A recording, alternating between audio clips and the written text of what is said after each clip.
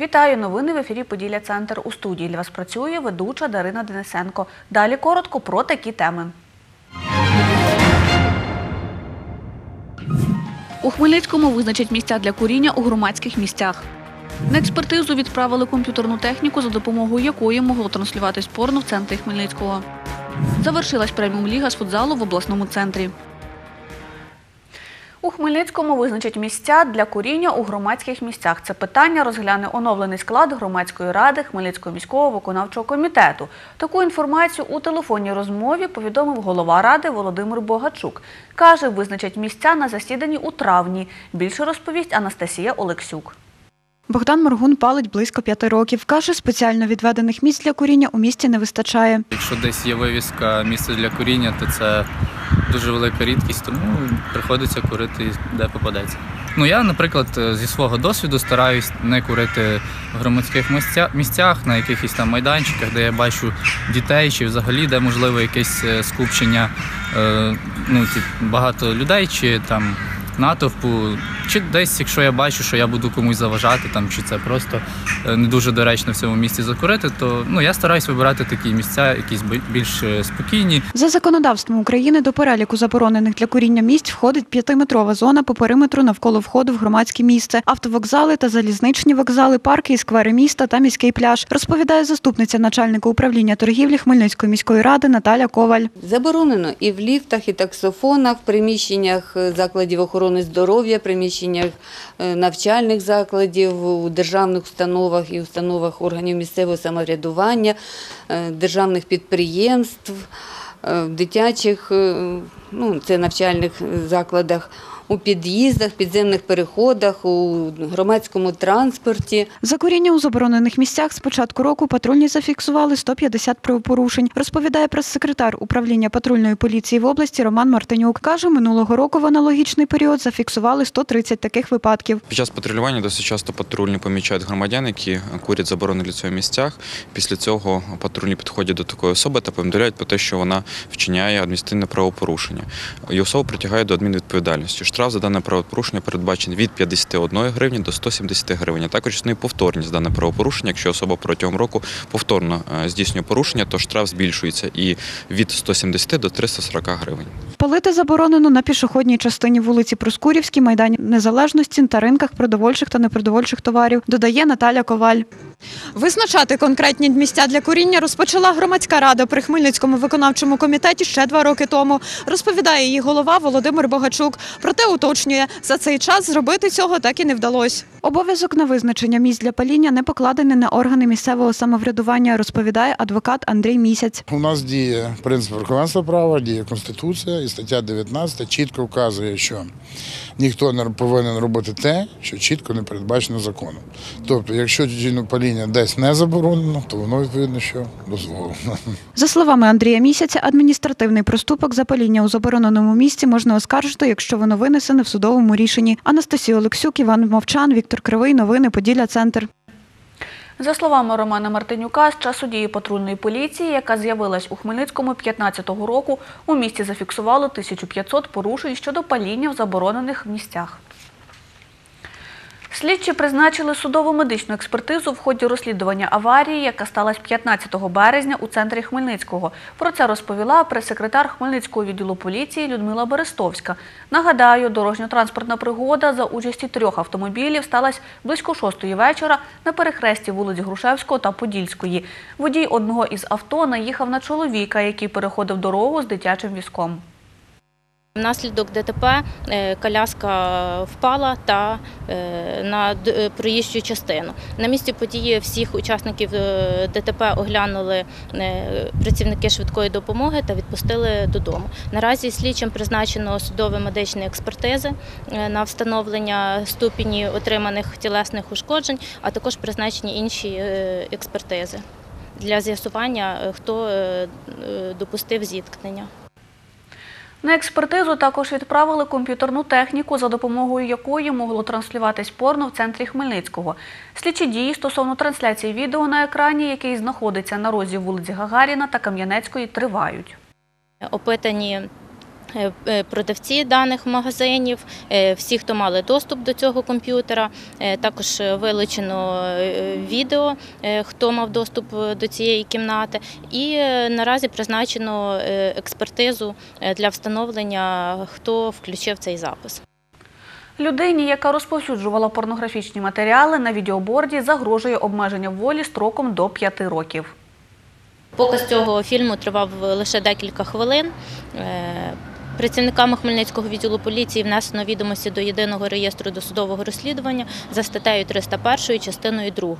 Е, Санкція статті передбачає покарання максимальне е, обмеження волі до 5 років або позбавлення волі до 5 років на цей самий термін з е, конфіскацією відеоматеріалів, які містять порнографічний характер.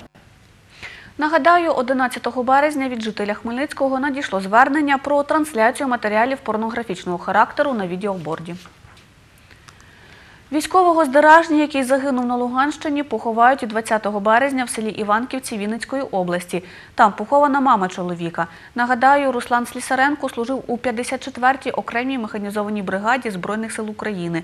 Про це повідомила координатор Центру допомоги учасникам АТО Наталія Дзекар. Загинув чоловік на Луганщині під час мінометного обстрілу. У чоловіка залишилась дружина, двоє синів та батько.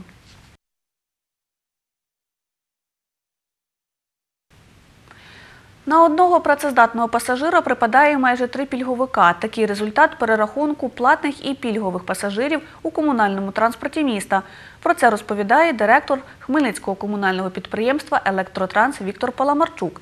Нагадаю, рахувати пільговиків рахували пільговиків з 11 по 17 березня. Коефіцієнт співвідношення пільгових пасажирів до платних склав 2,889 тисячних. Тобто на одного платного пасажира їде 2,888 пільговиків. Минулорічний був 2,027. Це дуже і дуже е, невтішний, принаймні для нас результат, тому що і ну і для бюджету, але іншого шляху немає. Потрібно о, сприймати те, що є. Це не те, що ми робили. е, Цей моніторинг це робили ціла комісія. Вони виїжджали, і в принципі і в нас, і в них сходиться е, ця цифра. За словами Віктора Паламарчука, у місті зменшується кількість платних пасажирів.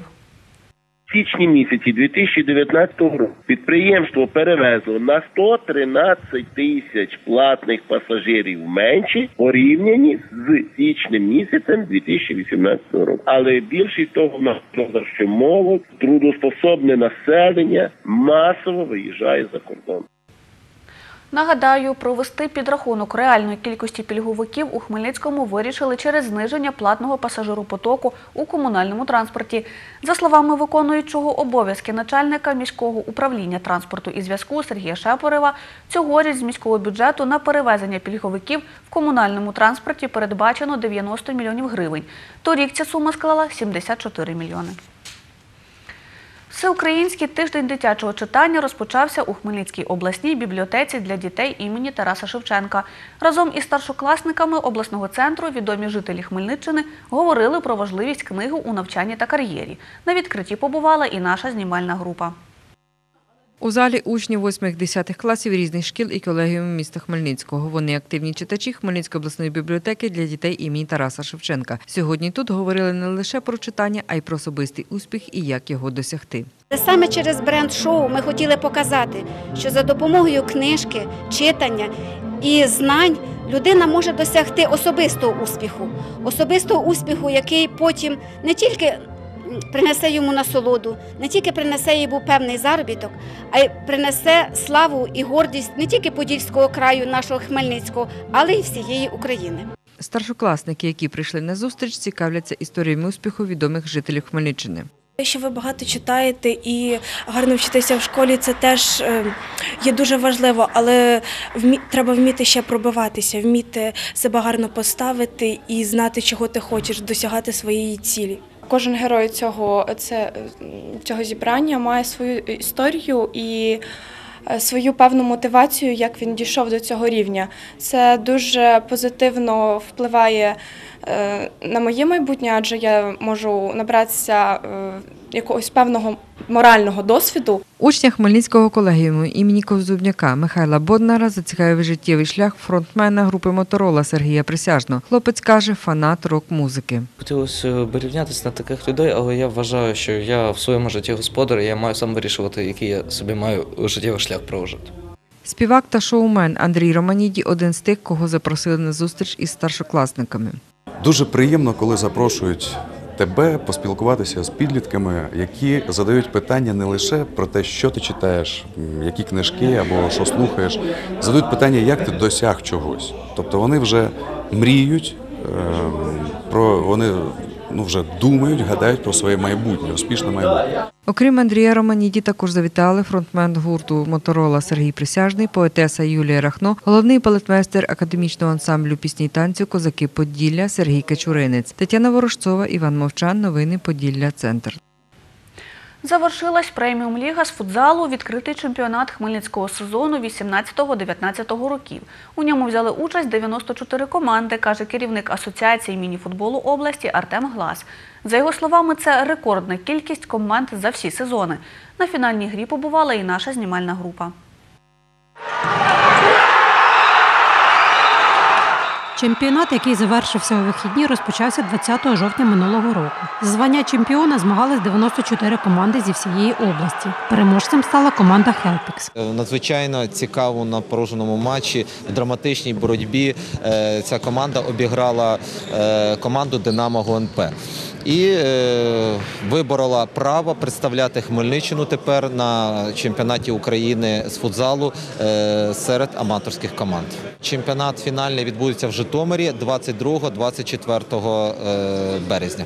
Цьогорічний чемпіонат за рівнем гри був найрейтинговішим. За словами Артема Гласа, професійний рівень команд зростає. Команда Хелпікс вперше в своїй історії взагалі стала чемпіоном е, преміум ліги. Е, І це однозначно, я думаю, для цієї команди є успіхом і стане поштовхом для того, щоб ну напевно рухатись вперед і досягати ще більш високих е, спортивних цілей.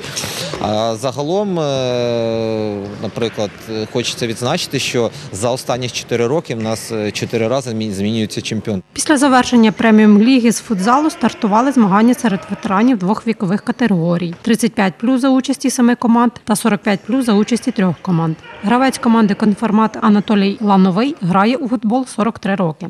У нас в команді 15 років є. Так от, ну, по сьогоднішній день ще займаюся, граю. І на даний момент, поки маю можливість, буду грати. І хочу всім сказати, що поки ще людина щось може, вона комусь потрібна. Змагання з футзалу серед ветеранів триватимуть місяць. Леся Боровець, Олександр Горішевський. Новини Поділля Центр. Це була остання інформація випуску. Більше новин ви можете дізнатись на нашому офіційному сайті та на сторінці у Фейсбук. Побачимось!